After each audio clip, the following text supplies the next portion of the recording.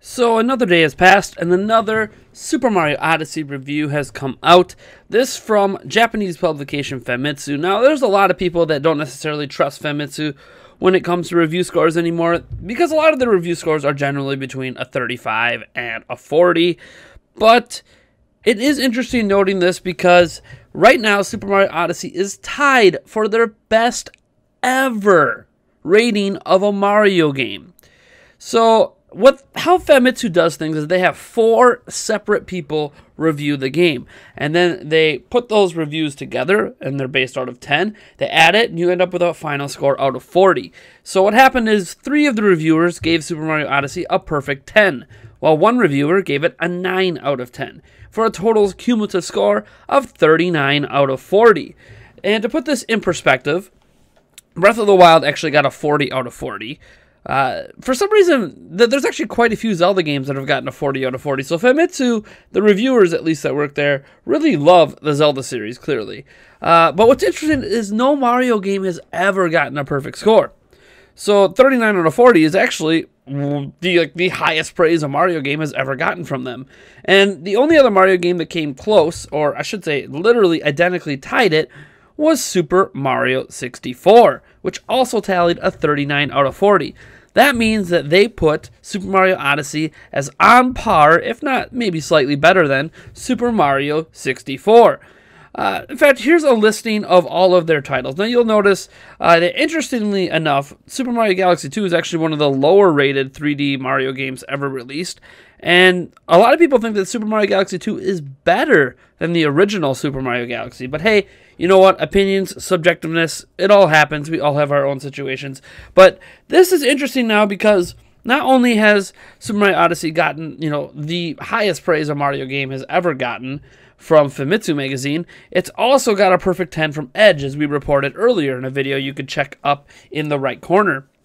So, this is just a really interesting thing to me that Super Mario Odyssey, two reviews in, is really sitting at the top of the heap, at least when it comes to Mario games.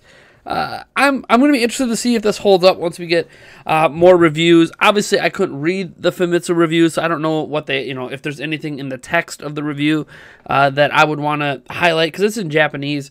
But it's still really interesting. Uh, this also brings up a grander point of you know do review scores matter? Certainly, Nintendo thinks they matter, and the review scores of Breath of the Wild earlier this year clearly helped drive the hype and the continued sales of Breath of the Wild even to this very day. So It'll be interesting to see if Super Mario Odyssey can keep up its torrid pace of scores so far. I know it's just two, but they're big ones. And uh, yeah, I don't know. I, I guess the question I'm going to throw at you guys is do you think Super Mario Odyssey is going to score as well as Zelda. Now, Zelda was interesting because Breath of the Wild got a ton of perfect scores. And I don't know if Super Mario Odyssey can honestly match the total perfect scores that Breath of the Wild got. But Breath of the Wild also had a handful of lower scores. We're, we're talking sevens uh, out of 10.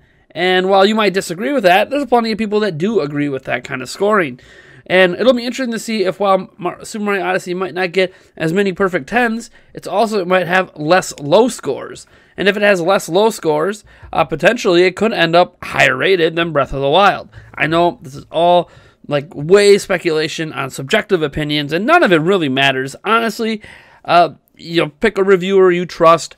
Uh, if you're not sure if you want to buy the game, pick the reviewer you trust, see what they have to say about it, and make your purchasing decision then. But I'm obviously getting Super Mario Odyssey. We're giving away a copy of Super Mario Odyssey. There's a link to that giveaway down in the description below. Just as a reminder, I'm sure most of you guys by now have already entered. We have over 4,000 entries, which is just awesome. I'm, I'm glad to see so many people excited for Super Mario Odyssey. But yeah, let me know. Uh, do, do you think review scores matter in today's day and age? Clearly, they you know they still matter for sales. Uh, but do they matter to you? And or is it the content of a review that matters more? Because obviously, I can't give you the content of Famitsu's review. Uh, I can only tell you what they scored it. And just to let you guys know, I will not be reviewing Super Mario Odyssey.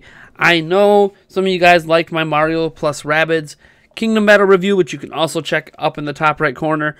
But I decided that game reviews are something I really enjoy doing. There's a lot of people that actually liked my take on Mario plus Rabbids Kingdom Battle, and they also like some of my prior product reviews, like the Rav Power review. um, and some other reviews that I've done of products. But the thing is, is reviewing games in comparison to reviewing products. Oh, that Rav Power review that took a long time. Um, so many scenarios I wanted to test those bad boys in, and there were some big battery banks, uh, so it took a long time to test. But to look at things, you know, as objectively as possible. Um, and here's the thing: I don't think game reviews can actually be objective. I think the whole purpose of a game review is to be subjective. I think tech analysis is something that can be objective, but uh, that's what you turn to Digital Foundry for. We don't do tech analysis here, so. I decided game reviews are going to be part of our Patreon, and I understand that uh, some people don't like that, but we have a stretch goal on Patreon of $300 per month for game reviews. And I'm doing this on purpose because I really just want. I'm doing this on purpose because game reviews take a long time. Uh, there are you know at least 100 hours sunk into a game review, and it's not just playing the game, right? You know, say Super Mario Odyssey. Say I only need to play 40 hours of Super Mario Odyssey, uh, in my opinion, to properly uh, review the game. Even if I don't beat it, which I probably would beat it in that time, but you know what I mean. Uh, even if I don't 100% the game, but that doesn't include the time it takes to take notes. That doesn't include the time it takes to write up the review. That doesn't include the time it takes to edit the review. Heck, that doesn't even include the time it takes to record footage, which I might have to do after the fact uh, in replaying the game, which could add more time because I didn't want to necessarily uh, record footage while playing it for review purposes in case. Um, I just don't have space, right? If I if I just recorded my entire playthrough of Super Mario Odyssey from day one, I would be in I'd be screwed if I'm being honest. So it's just something to think about. Uh, how much time it takes for me to create a review. And like our, review of Mario plus Rabbids Kingdom Battle only had about 1,300 views. I'm sure Super Mario Odyssey would probably get two to 3,000, if not more. But while I love doing game reviews, they are so time consuming that it's hard for me to justify setting time aside. But if we could hit that $300 stretch goal, uh, 200 of it, which goes towards game reviews, it makes me realize, you know what? Game reviews are worth it. Now, we would only review one game per month to start uh, until we get into a better flow, and then maybe there'll be more than one review per month. But uh, you guys would be able to select which game we review every single month. Uh, I don't know if I'd open it up to a public or just Patreon backers yet, but yeah, it's something that I love doing. I want to do, and maybe someday I'll do it on my own, regardless of what we get on Patreon. But if you guys would like to see me review games like Super Mario Odyssey and stuff, please head on over to patreon.com slash Nintendo Prime. Show some love, for, even for as little as a dollar a month. I mean, we get thousands of views on our videos. Literally, if 200 of you would just give a dollar, even less than 200, I think, at this point, we would be at our stretch goal, and you would get game reviews. So, thank you so much for tuning in. I am Nathaniel Rufflegans from Nintendo Prime. If you like this video, you know what to do. And if you dislike the video, hit that dislike button.